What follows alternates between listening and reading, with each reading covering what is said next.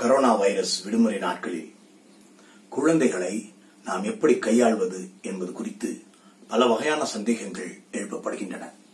இந்தியாவில் மட்டுமல்ல உலகெங்கிலும் இது ஒரு மிகப்பெரிய சிக்கலாக இருக்கிறது.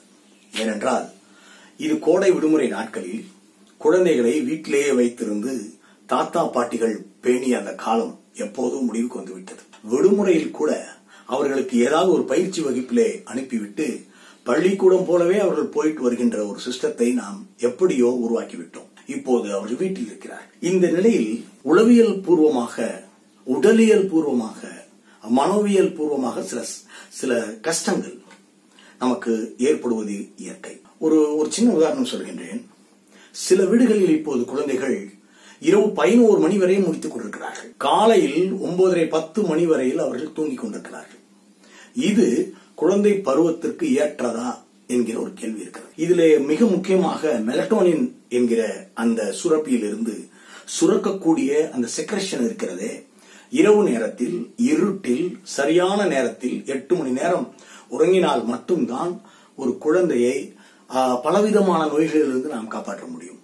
இந்த பலவிதமான நோய்களில் கேன்சரும் அடக்கம் இப்போது நாம் பார்த்துக் கொண்டிருக்கிற ஒபிசிட்டி அடக்கம் பல விஷயங்கள் அடக்கம். ஆனால் நாம் ஒரு ரொட்டீனை முதலில் கொண்டு வர வேண்டும் என்பது என்னுடைய கருத்து. முதல்ல அந்த ரொட்டீன் என்னவென்றால் காலையில் அந்த குழந்தை ஏழு ஏழைகால் அதற்கு முன் கண்டிப்பாக எழுந்து பழக வேண்டும். இரவில் எக்காரணம் கொண்டும் பத்து மணிக்கு மேல் அந்த குழந்தையை முடித்துக் கொண்டிருக்க வாய்ப்பில்லை. இருக்கக்கூடாது. வாய்ப்பு இருக்கக்கூடாது. இந்த இந்த முக்கியமான ஒரு விஷயத்தை எட்டுவதற்கு இந்த விடுமுறையை நாம் பயன்படுத்த வேண்டும். இந்த விடுமுறையால் நமக்கு பல நன்மைகள் ஏற்படக்கூடும். இது வந்து நான் சொல்லியிருப்பது ஜெனரல் ஹெல்த் இந்த ஜெனரல் ஹெல்த்ல ஏன் இதை மெயின்டைன் பண்ணணும் அப்படின்னா இந்த விடுமுறை காலம் முடிந்த பிறகு நீண்ட விடுமுறை காலம் முடிந்த பிறகு அவர்கள் பள்ளிக்கு போக இருக்கிறார்கள் காலை கடன் நேரத்தை நாம் சரி பண்ண வேண்டியிருக்கிறது. அதன் பிறகு நாம அவர்களுக்கு பலவிதமான ரொட்டீன்ஸை சொல்லிக் கொடுக்க வேண்டிய அவசியம் இருக்கிறது. இவற்றை நாம் சரியாக செக் ரைட்டில் வைத்திருந்தால் மட்டும்தான் குழந்தை பருவத்தை அவர்களால் சுயமாக சமாளிக்க முடியும். அதற்காக நாம் முன்வைப்பது என்னவென்றால் குழந்தைகளை நாம் மூன்றாக பிரித்துக் கொள்ளலாம். முதலில் ஒரு எல்கேஜி ப்ரீகேஜி பருவம் முதல் ஒரு மூன்றாம் வகுப்பு வரையிலான பருவம் உள்ள குழந்தைகள். நான்காம் வகுப்பிலிருந்து ஒரு ஏழு எட்டாம் வகுப்பு வரை இருக்கிற பருவம். அப்புறம் ஒன்பதிலிருந்து பன்னெண்டாவது வரை இருக்கிற சிறுவர்கள். இப்படி மூன்றாக நாம் பிரித்துக் கொள்கின்ற பட்சத்தில் அவர்களுடைய மனநிலம் அவர்களுடைய உடல் நலம் பொதுவான அவர்களுடைய குடும்பத்தின் ஈடுபாட்டு நலம். இது மூன்றையும் மிக சரி விகிதத்தில் இப்போது சமாளிக்க முடிந்த பெரிய அதிர்ஷ்டமான நாட்கள் நமக்கு கிடைத்திருக்கின்றன என்றுதான் சொல்வேன். உதாரணமாக நாம் அவர்களுடைய வளர்ச்சி காலகட்டத்தில் இந்த ஃபர்ஸ்ட் செட் ஆஃப் சில்ட்ரன் அவர்களோடு இந்த ஒன்பதாம் வகுப்பு வரையிலான குழந்தைகளுக்கு அவர்களுடைய அந்த ஓக்கல் கார்ட்ஸ் இதெல்லாம் இம்ப்ரூவ் ஆகிற ஒரு காலம். பெரும்பாலான வீட்டில் குழந்தைகள் டிவி முன்னால் உட்கார்ந்து இருக்கிறார்கள் மணிக்கணக்கில் எதுவுமே பேசாமல் உட்கார்ந்து இருக்கிறார்கள் அவர்கள் அதிகம் பேசுவது நின்று விட்டது சத்தம் போடுவது நின்று விட்டது ஓசை எழுப்புவது நின்று விட்டது என்கிற ஒரு கட்டத்தில் நாம் வாழ்ந்து கொண்டிருக்கிறோம். ஏனென்றால் அவர்கள் கவனிப்பாளர்களாக மாற்றப்பட்டிருக்கிறார்கள். ஒரு கேளிக்கை டிவியில் நடந்துட்டு இருக்கு அதனுடைய கவனிப்பாளர்களாக அவர்கள் உட்கார்ந்து பார்த்துக் கொண்டிருக்கிறார்கள். இதை நாம் மாற்ற வேண்டியிருக்கிறது. இந்த குழந்தைகளை பொறுத்தவரையில் வீட்டில் தயவு செய்து தமிழ்தாய் வாழ்த்து எல்லாரும் சேர்ந்து ஒரு முறை பாடலாம். அவர்களையும் பாட வைக்கலாம். சத்தமாக அவர்கள் பாடுவது அவர்களுக்கு நலனுக்கு மிக மிக முக்கியம். அதனாலதான் நாம வந்து பள்ளிக்கூடங்களில் அசம்பிளி வைத்திருக்கிறோம். அதுல தேசிய கீதம் பாடி கூட பழகலாம். பாரதியார் பாடல்களை சத்தமாக பாடி பழகுகின்ற அளவுக்கு இன்னைக்கு நம்ம நம்மளுடைய செல்போன்லயே பாரதியார் பாடல்களை டவுன்லோட் பண்ண முடியும். இதைவிட மிக அழகாக திருக்குறள் நாம டவுன்லோட் பண்ணி தினமும் அவர்கள் திருக்குறள் ரிசைட்டேஷனுக்கு அவர்களை நாம் பழக்க வேண்டியிருக்கிறது. ஓசையோடு அவர்கள் பேசுவதை பாடுவதை நாம் அதிகம் ஊக்குவிக்க வேண்டும். நல்லா பாடணும்னு அவசியம் இல்லை. ஆனால் பாடுவது மிக மிக முக்கியம். அப்புறம் இந்த இந்த மாதிரி நேரத்தில் தான் நாம் வாய்ப்பாடு ஒப்பிப்பதை வீடுகளில் நாம் கண்டிப்பாக கடைபிடிக்க வேண்டியிருக்கிறது. வாய்ப்பாடு என்பது மிக மிக சுலபமான ஒரு விஷயம். குறிப்பாக இந்த குழந்தைகளுக்கு வாய்ப்பாடு ஒப்பிப்பதை அவர்களுடைய பொழுதுபோக்கில் ஒன்றாக நீங்கள் கலக்க வேண்டும். ஒரு நாளைக்கு ரெண்டு வாய்ப்பாடு நல்லா படி சத்தமா ஒப்பி என்று சொல்லிவிட்டு அதற்கு நீங்க இன்சென்டிவ்ஸ் கொடுக்கலாம்.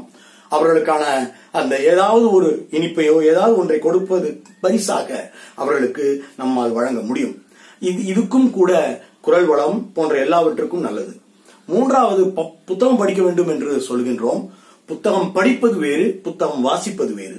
புத்தக வாசிப்பு என்பது இன்றைக்கு மிக மிக குறைந்து விட்டது ஆனால் ஏதாவது ஒரு புக் எடுத்து வச்சுக்கிட்டு நாம வந்து டாம் சாயர் சாகசங்களையோ அல்லது தமிழ் வந்திருக்கக்கூடிய நல்ல புத்தகங்களையோ அவர்களை படிக்க வைக்கணும் அப்படின்னா வாசிக்க வைக்க வேண்டும். சத்தம் இல்லாம ஒரு இடத்துல உட்காந்து அவங்க படிக்கணும் அப்படின்னா சத்தமாக அவர்கள் முதலில் படித்து பழக வேண்டும்.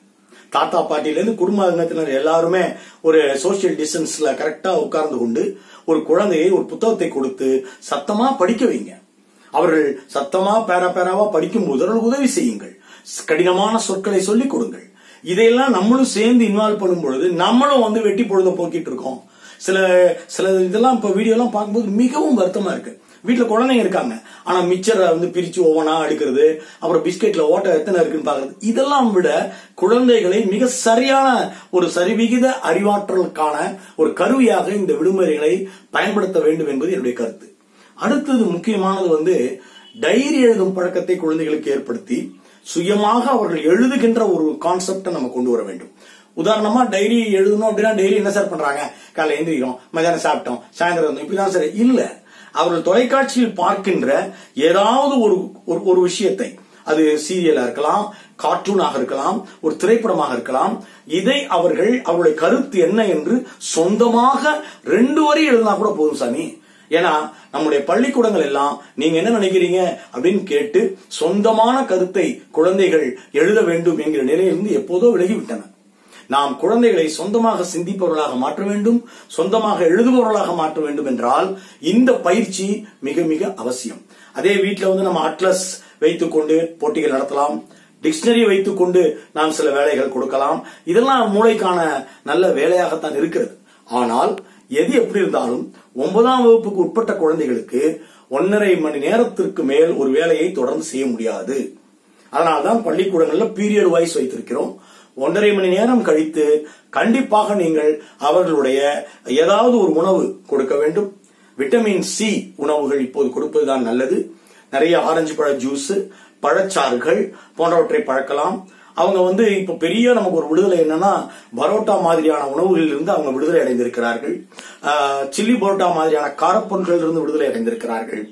எப்போதும் வாங்கி சாப்பிடுகின்ற இந்த ஃபாஸ்ட் ஃபுட் கலாச்சாரத்தில் இருந்து அவர்கள் விடுதலை ஆகியிருக்கிறார்கள் இந்த சூழலை பயன்படுத்தி கொண்டு நிறைய பேரிச்சம்பழங்கள் வீட்டிலே நாம் எவற்றையெல்லாம் அவர்கள் சாப்பிட வேண்டும் என்று நினைத்தோமோ அவற்றையெல்லாம் செய்து கொடுக்கிற ஒரு பாரம்பரியத்தை நாம் கடைபிடிக்கலாம்.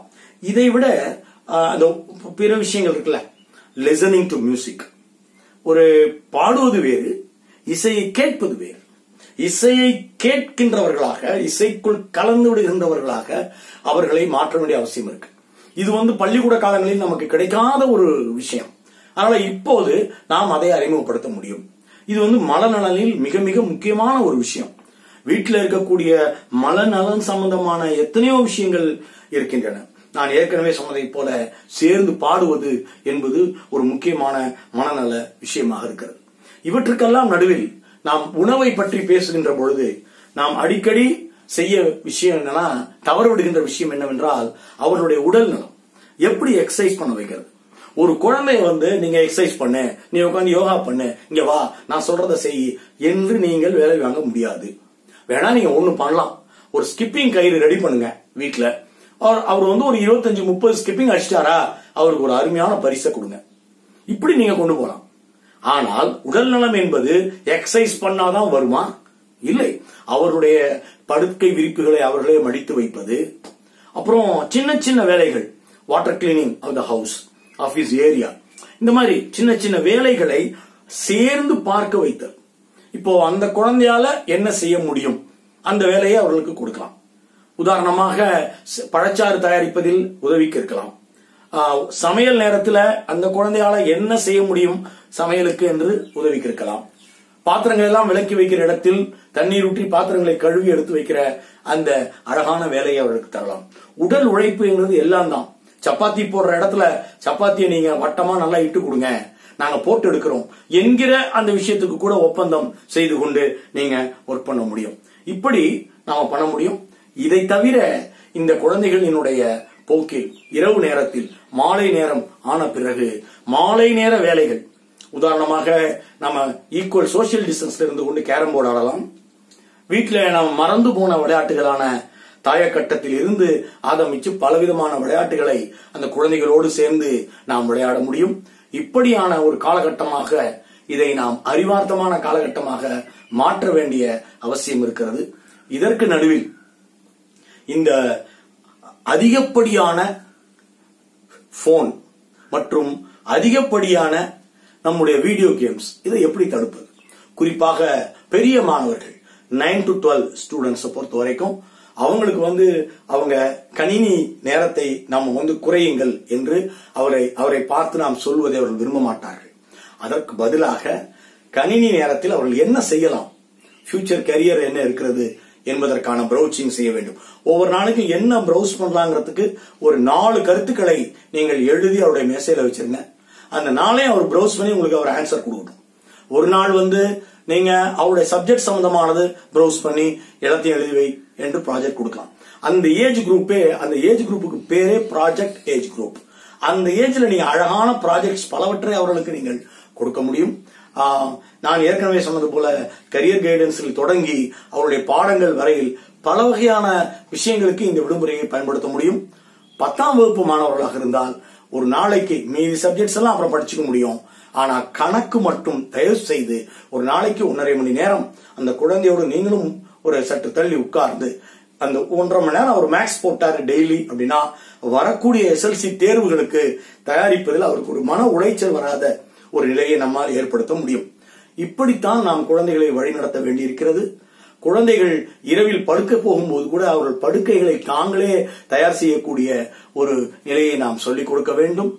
இரவு நேரத்தில் படுத்த பிறகு விளக்கு அணைத்தால் தான் உறங்குவார்கள். நாம் டிவியை ஆஃப் பண்ணாதான் அவங்க உறங்க முடியும். எனவே நம்முடைய டிவி டைம் நம்மையும் நாம் சரி செய்து கொள்ள வேண்டியிருக்கிறது. வீட்டிலிருந்து வேலை பார்க்கக்கூடிய ஐடி ப்ரொஃபஷனலாக இருக்கட்டும் அல்லது வீட்டில் இருந்து வேலை பார்க்கக்கூடிய மற்ற ப்ரொஃபஷன்ஸா இருக்கட்டும் யாராக இருந்தாலும் குழந்தையின் ஆரோக்கியம் என்பது எத்தனை மணி நேரம் அவர் உறங்குகிறார் என்பது மிக மிக முக்கியம் என்பதை கருத்தில் கொண்டு செயல்பட வேண்டிய அவசியம் இருக்கிறது. நன்றி வணக்கம்.